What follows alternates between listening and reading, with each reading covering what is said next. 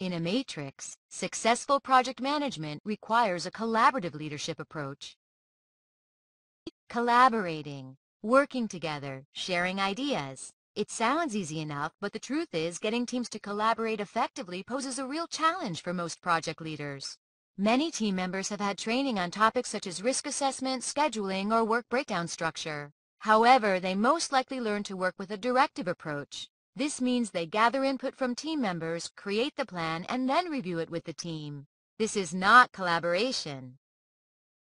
Collaboration occurs when the team creates the plan under the direction of the leader. This approach creates ownership and accountability. Collaborative project management is a new set of skills for most project leaders. Our two-day workshop on collaborative project management is the most effective approach to teaching project leaders collaborative skills. Participants who have attended this workshop can use what they learn immediately, anytime their job calls for collaboration. This workshop is for everyone from PMPs to individuals who are brand new to the world of project management.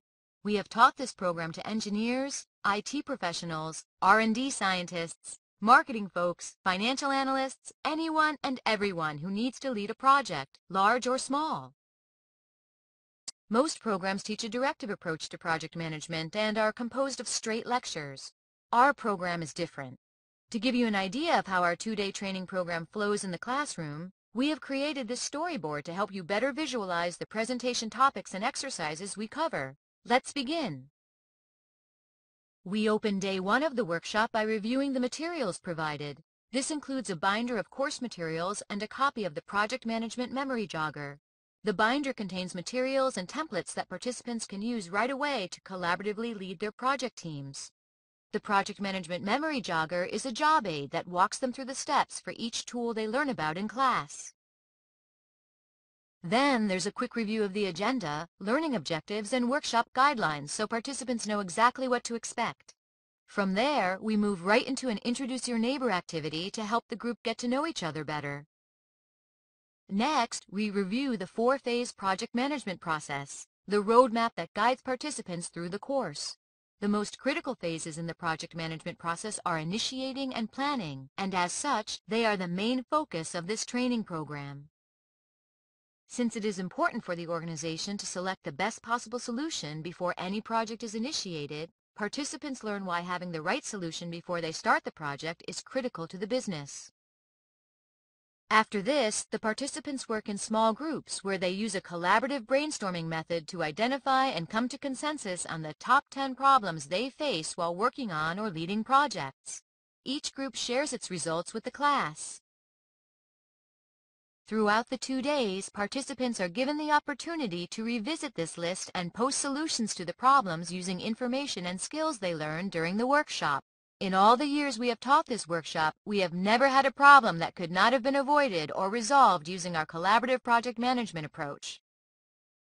We then focus our discussion on the first phase of any project, which is known as initiating.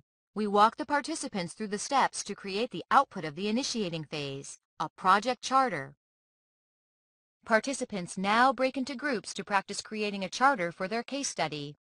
Throughout the workshop, participants use one of three available case studies to help them apply what they've learned.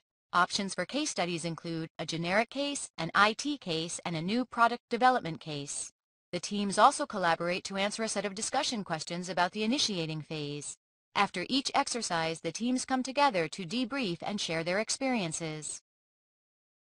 We wrap up our discussion of the initiating phase by discussing how to use two important project management tools the issues list, and lessons learned.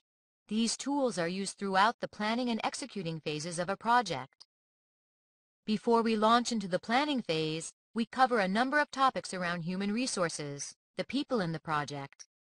This discussion includes the project kickoff and stakeholder analysis. Included in this topic is a discussion of different thinking styles, where participants learn about Ned Herrmann's 64 different thinking styles in a highly interactive exercise. The result is an informal profile of the group's thinking styles and a discussion of how to get past the differences. For more information on how to profile an individual or team thinking style, please visit the HBDI website.